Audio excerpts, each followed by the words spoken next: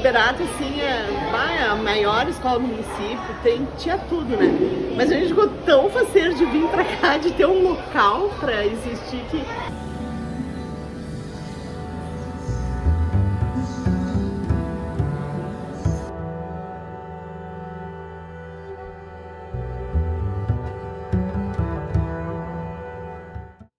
sou Rochelle Soares, diretora da escola Liderado Salzano Vieira da Cunha. É, tenho formação em pedagogia e educação infantil anos iniciais. A água invadiu a nossa escola nesse dia, o qual nós tivemos 30 minutos para sair correndo. O térreo todo foi danificado não teve nada que sobrasse nesse andar. É, toda a nossa história, né, toda a nossa caminhada, nossa trajetória, alunos, professores. Então, tudo ficou ali submerso em cenário de guerra, em cenário extremamente é, triste.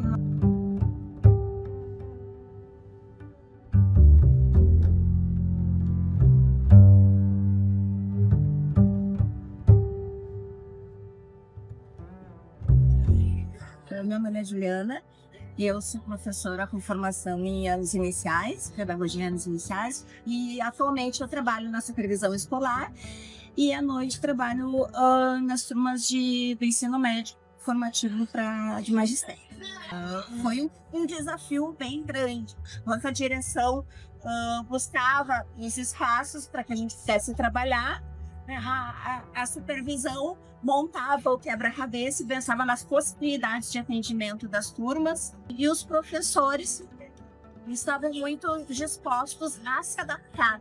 Não tem como desassociar a questão uh, do sentimento, né? Uh, essa relação afetiva com os nossos alunos. Ao longo dos dias, a paróquia começa a aparecer cada vez mais como escola com trabalhos escolares espalhados pelas mesas e pendurados na parede.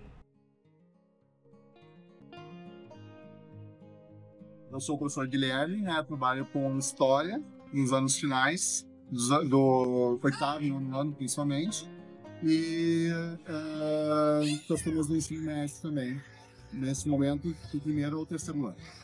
Eu sinto, principalmente com os anos, onde estão as três turmas juntas, eu, eu, eu desde um primeiro momento eu senti a necessidade de alterar a minha forma de trabalhar.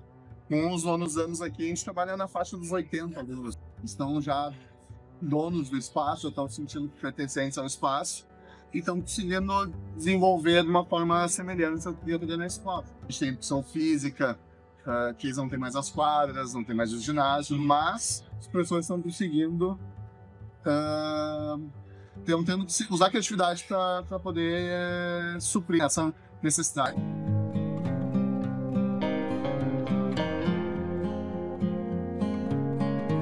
Esse esforço combinado e o carinho com alunos e famílias são a verdadeira prova de que, onde há professor, há escola.